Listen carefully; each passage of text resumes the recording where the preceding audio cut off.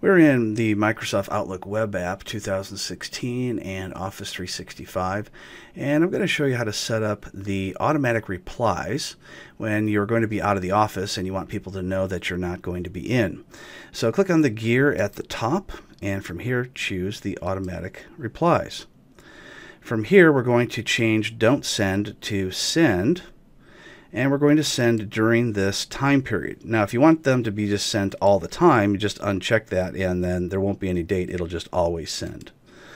From here, we can choose the dates that we want and from what time to what time.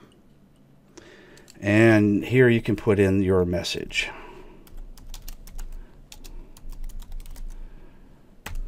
Great, we're out fishing. We can also change to bold we can change to different fonts. We can create larger fonts. Whatever it is we want to do, we can also click on the drop down arrow and we can get a lot more different options.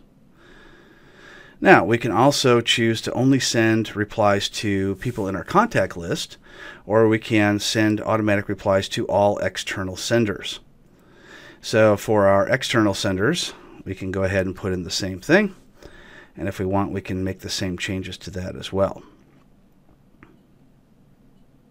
So the top one is just for people inside my organization, and the bottom one is for people outside my organization sending me email inbound.